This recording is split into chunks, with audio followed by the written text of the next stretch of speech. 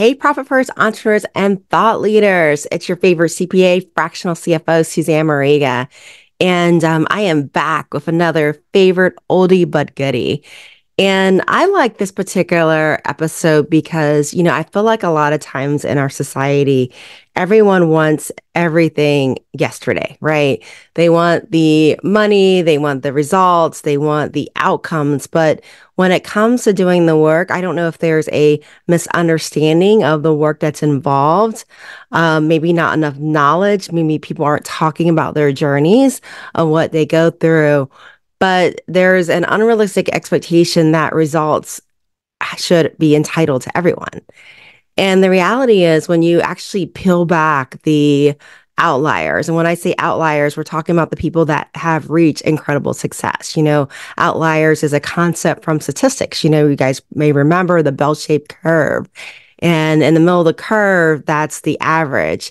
And on the ends of the curve, those are the people that have gotten either terrible results, right? If they're on the bottom end of the curve, that bottom 5%, or they've got exceptional results, those are on the top 5% of the curve. And and I think that as business leaders, it's important not to study the average, right? Unless you are um, wanting to be average, but to really study the things that you want, which in a lot of cases is the outliers, right? It's the success stories. And if you examine those success stories, one of the things that you see is that those that have achieved incredible success have done the reps, right? They've done the work. They've done the practice sessions over and over again, and they have failed forward. And and I really love this episode because it's a great reminder that you know what it's about celebrating the journey. It's about embracing the hard times, celebrating the failures and learning from those. But even more importantly, sharing the stories that go with that. So I hope that you guys enjoy this episode as much as I enjoyed creating it. And um, I look forward to seeing you guys in the new year. Embrace failure. Embrace failure because failure drops clues that are going to lead you to your successful outcomes.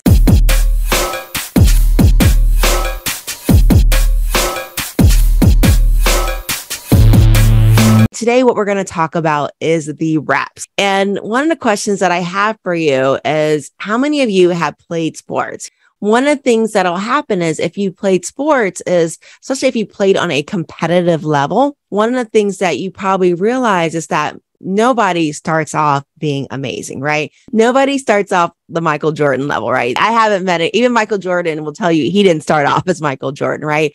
Everybody kind of works their way over time to become that level. And what happens is, you know, when you play sports, you get to that level because of practice, right? You practice, you invest that time and what happens is when you practice and you have these practice sessions over a sustained period of time, what happens is over time you build that strength, right? You build that strategy. And that's how athletes become really great at what they do. It's not the first day that they come on field that they're noticed for being absolutely amazing. It's practice sessions over and over again that really builds who they are. And the reality is the world knows very few overnight successes. So, you know, there's this theory out there that, you know, this person was an overnight success. The world knows very few of those. In fact, when you actually talk to most overnight successes, one of the things that they're going to tell you is that their overnight success was actually 10 years in the making, right? It took them 10 years to even build where they are today. And it was really just that nobody paid attention to them until they really mastered it, is what they found. Now, you guys have been with me for a while, so you guys know one of my favorite authors in the world, besides Mike Michalowicz, is Malcolm Gladwell. Malcolm wrote this amazing book here called The Outliers. Outliers is an interesting concept. Outlier is a statistical word.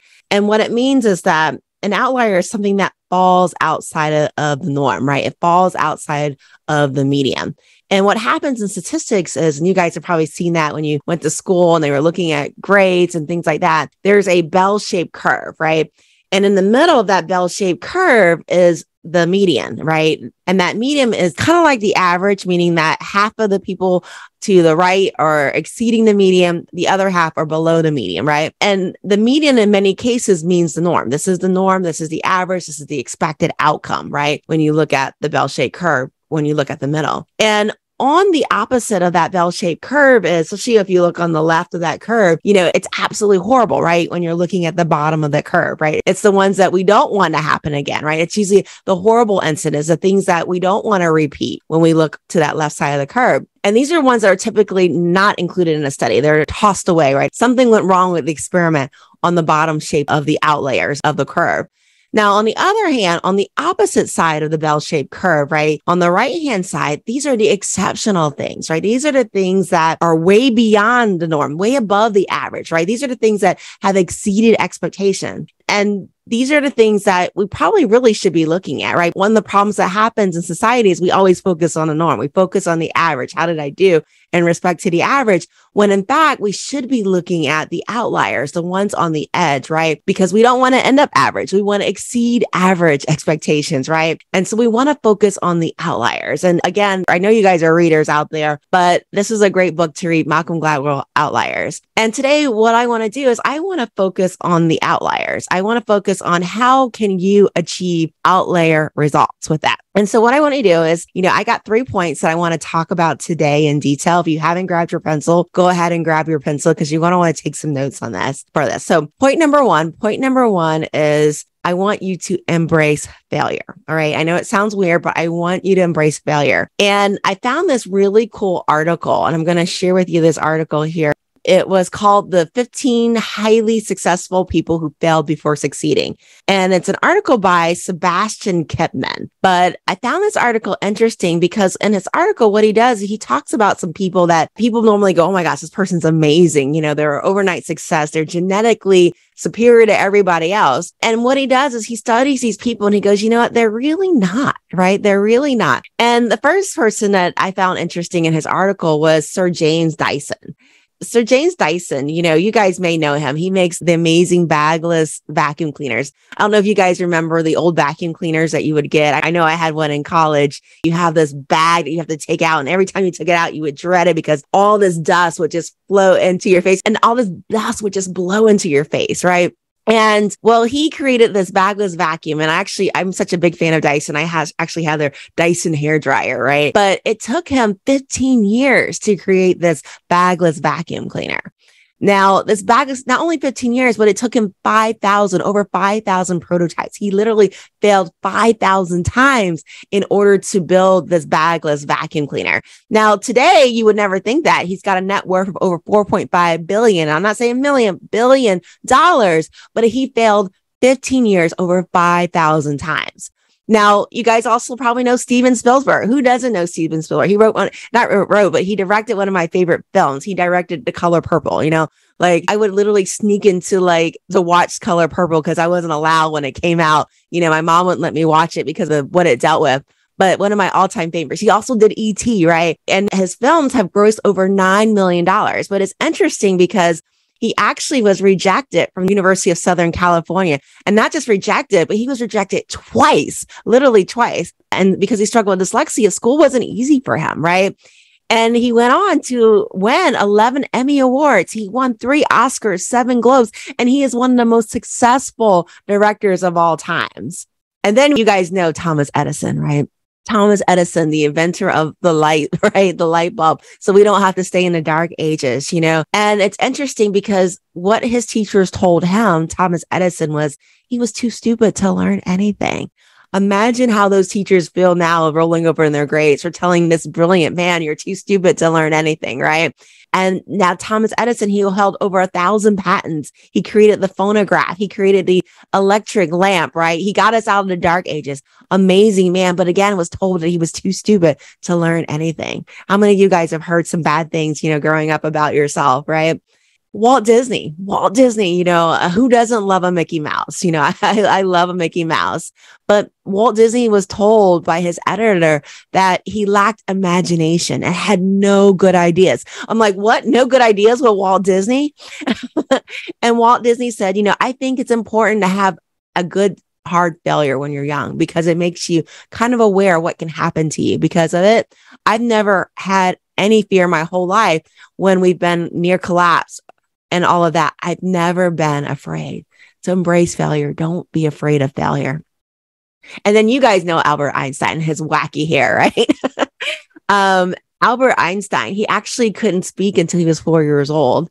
He couldn't read until he was seven, and people thought he was mentally handicapped. And now we think of him as a genius. You know, I remember when my kids were little, I would actually buy baby Einstein for them, right? To help them kind of get ahead in life.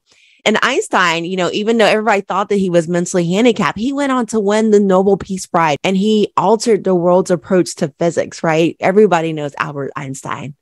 And who doesn't like a Harry Potter book, right? Who doesn't like a Harry Potter? J.K. Rowling. Um, you know, J.K. Rowling, before she wrote Harry Potter, she was broke. She was broke. She was depressed. She was a divorced single mother.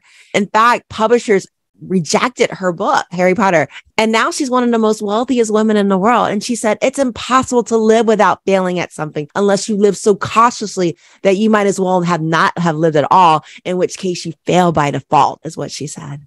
And then Abraham Lincoln, right? A president, the one that ended slavery, right? He actually ran for president several times before he became president, right? And he failed until he finally became one of the most celebrated presidents in the United States. And he shares the quote, my great concern is not whether you have failed, but whether you are content with your failure. You got to be happy, not happy necessarily, but content that failure is part of progression, right? You have to be content with that. And then Jerry Seinfeld, he is so funny, right? Who doesn't love a Jerry Seinfeld? You know, nobody knows this, but he actually froze on stage. You know, his audience booed him on the first time that he went out there. They booed him, right? And now he's like one of the most, you know, admired stand up comedians out there.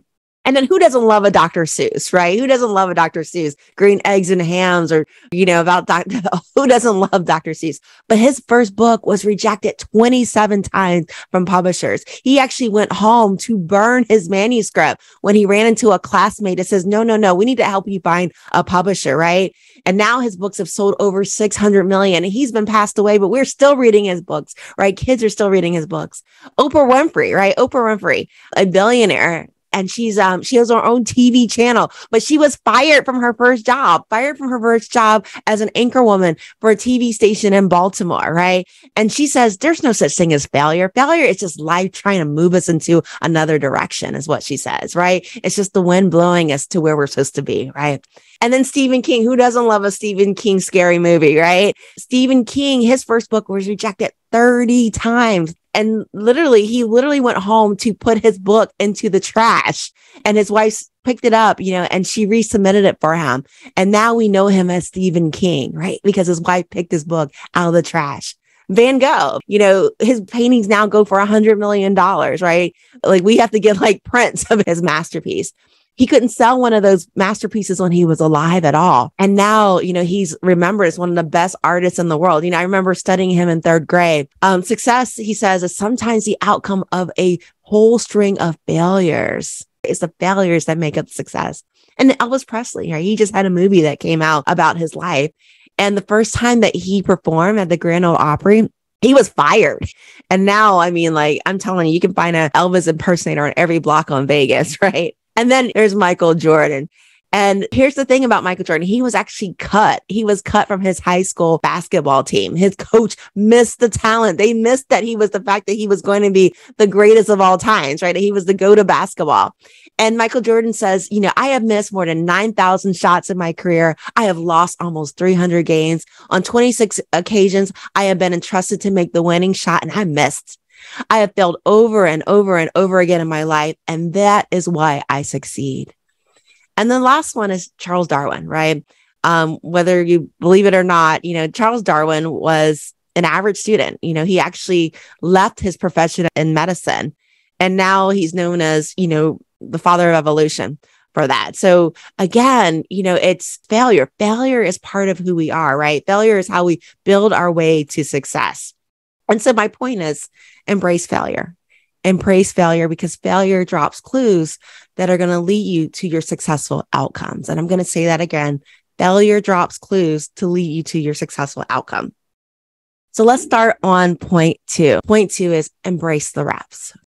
And the reason why I named it embrace the reps is because I think people give up too soon, right? They give up too soon.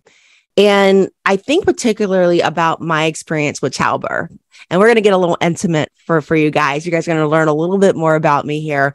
But um, if you've ever gone through childbirth or you know of someone that has, maybe your spouse has gone through it, or your significant other especially that first time, that first pregnancy, right? That first pregnancy, it's like a marathon, right? You don't know what's going to happen. It just hits you like a train, that first one. And for my daughter, you know, and actually for my son, I use it for both of my kids. I use a method called the Bradley method. And I don't know if there's anybody that's familiar with the Bradley method. I know we've got some folks here that are in the medical profession, but the Bradley method is an alternative to the Lamaze method, right? Everybody hears about Lamaze. That's that panting up that you do, right, to get through labor.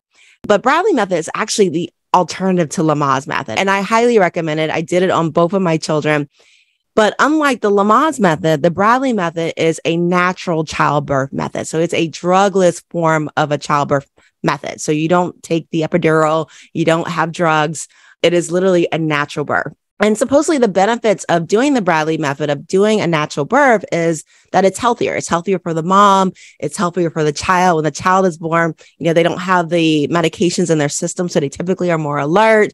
Nursing for those that are breastfed, um, it tends to be more successful because the child's alert, the mom's alert, they're able to focus a little bit more on that. And so the bottle tends not to be introduced early on. And so that learning, because, you know, babies don't come out necessarily learning how to nurse, have learned how to nurse. They have to be taught that. And also the other benefit is that healing is more rapid for the mother because, you know, there's less likely that you're going to be cut. And so that healing time is much faster because, you know, you're having more of a natural birth and the natural birth is really kind of the way that we were naturally intended to, to give birth. And if you can have that method, you know, definitely I highly recommend it. Some people are not able to have it for different medical situations, but if you are able to have it, I highly recommend it. But one of the things that happens in the Bradley method is instead of focusing on that rapid breathing like Lamaze, like you've seen in the movies or have maybe seen a friend do, Dr. Bradley, um, Robert Bradley, what he did was he's the founder of the Bradley method was he went and observed animals and one of the things that he noticed was that animals, when they were giving birth, you know, they didn't have a lot of commotion. They didn't have the babies in some cases with animals in the midst of a lot of other animals, right?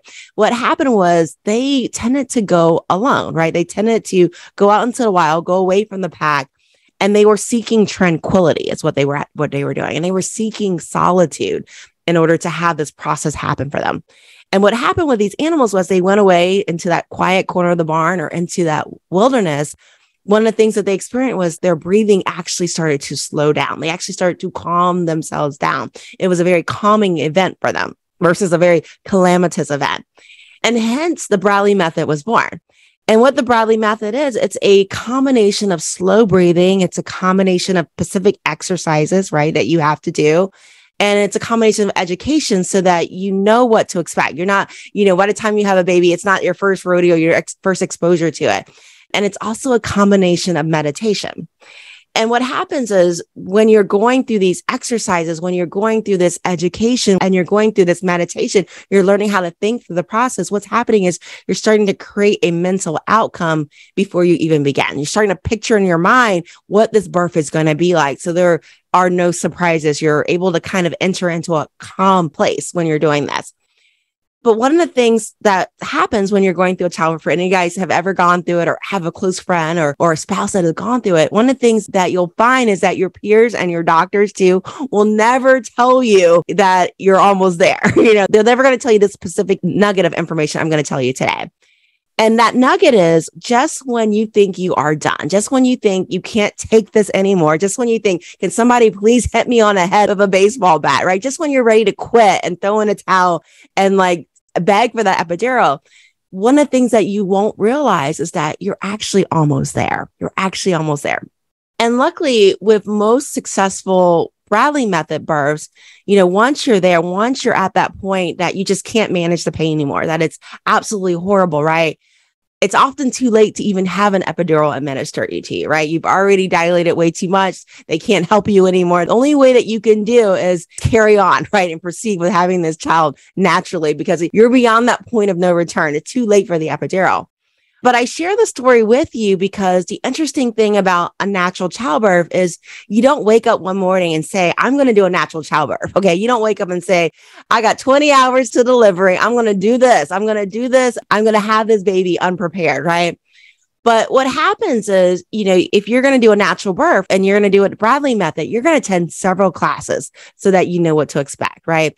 And these are not one day classes. These are usually 10 week classes and they're pretty long classes. They got videos in there. They've got exercises in there. And this is a real investment of your time. And not only are you attending these classes, but your partner is also attending these classes with you, right? They're being educated as to what to expect. And the reason why your partner is also being educated is because they need to understand the process. Because the last thing your partner needs to be is in that birthing room with you and they're panicking, right? Because if your partner starts panicking, you're going to start panicking and suddenly you're going to be pressured to make a rash decision with that, right? So it's an education process not only is an education process, but you're expected to create a written birth plan. And this is a written document, a very intensive written document and of what you're expecting for your birth to be like, what you're expecting it to be like, what your excess you want to be. Do you want to be able to walk around versus be confined to the bed? This is a very specific document. And you don't only bring this birth plan to the hospital the day that you deliver, Oh, no, no, no. You're going to bring this birth plan to your physician months in advance of the event, right? Because your physician needs to know that, hey, you're going to be doing this naturally and they're going to have to decide do they want to support you on this. And this birth plan, when you actually bring it to your physician, when you bring it to the hospital, that's almost like a will, right? They're going to do their best to respect your wishes, is what they're going to do. And your doctor, if you've ever done it, they're going to take this birth plan very, very seriously. And this birth plan includes, you know, your medical staff is going to be prohibited from doing. So if your birth plan says they are prohibited from even offering you an epidural, they're not going to offer you an epidural during your birthing session. In addition to this, you know, to do that, that natural birth, you have to be physically fit, right? To do a natural birth, right? Um, you can't be doing this if you're not physically fit. It takes a lot of physical energy. It takes a lot of strength to do a physical natural birth delivery here.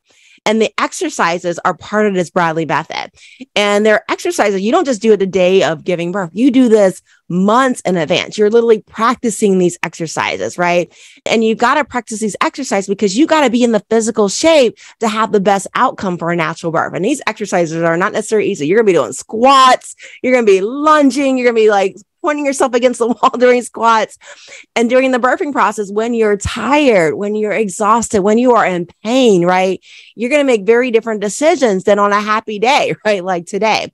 And so you have to be able to increase your endurance and stamina in order to make it through those tough times and you have to be healthy. You have to be healthy, you know, and this requires that you have to follow a meal plan, right? In order to increase the odds that the baby is healthy. Because if the baby's not healthy, the doctor's going to do what it needs to do to get that baby out, right?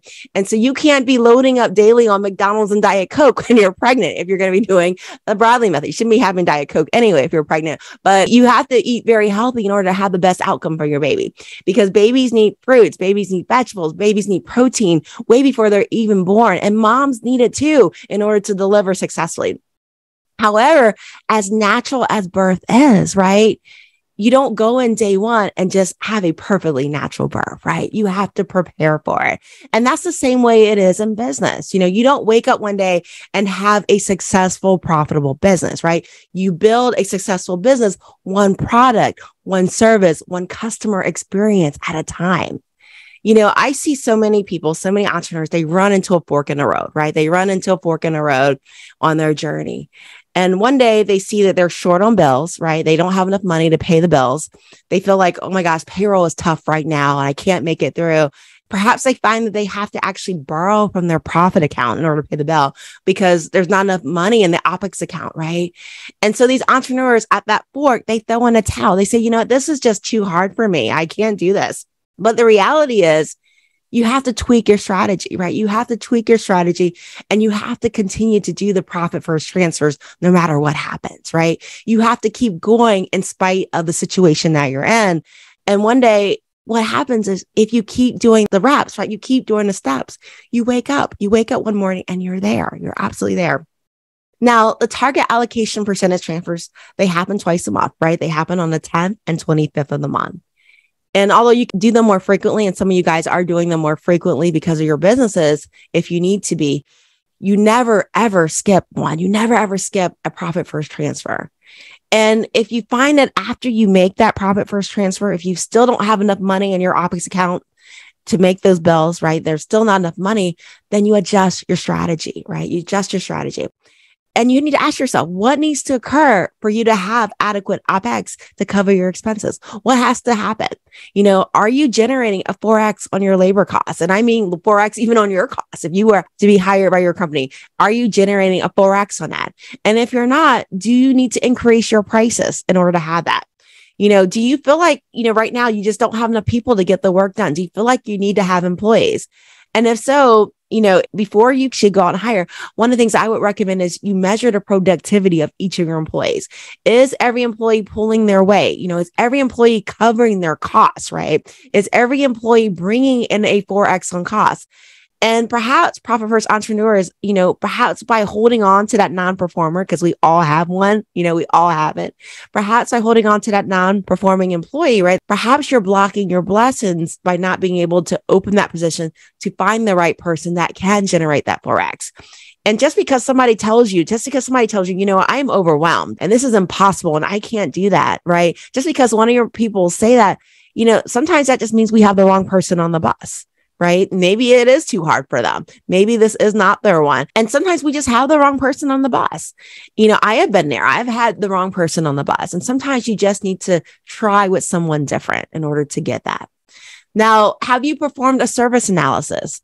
Of your business. So you look at every service offering that you're producing and have you determined that each of the services are producing a 4x on cost? Because sometimes it's not the employee's cost. Sometimes the price that we're selling something at doesn't really justify the resources that we have to allocate to do that service. In this case, what I'm thinking about is those freebies, you know, oh yeah, I'll throw that in for you or, or those customer favors, right? I'll just do that this time for you. We've all done it before. And again, sometimes the price doesn't really justify the cost, right? Especially if you're throwing in freebies, especially if you're doing favors. And have you audited your services for scope creep? And scope creep, for you guys that may not be familiar with that term, that means those extra things that you're just doing, right? Meaning that there are services that you're doing today that may not be things that you contracted for. Are you doing services that you don't have a contract for that are not in your engagement letter? Are you doing more than one thing as a favor, right? And I'll be honest with you, somebody's going to pay for that scope creep. Somebody's going to pay for that gift. And if it's not in your engagement letter or contract, it's probably you that's paying for that, right? Because your employees, at the end of the day, they're going to be paid, whether you're charging for it or not, they're going to be paid.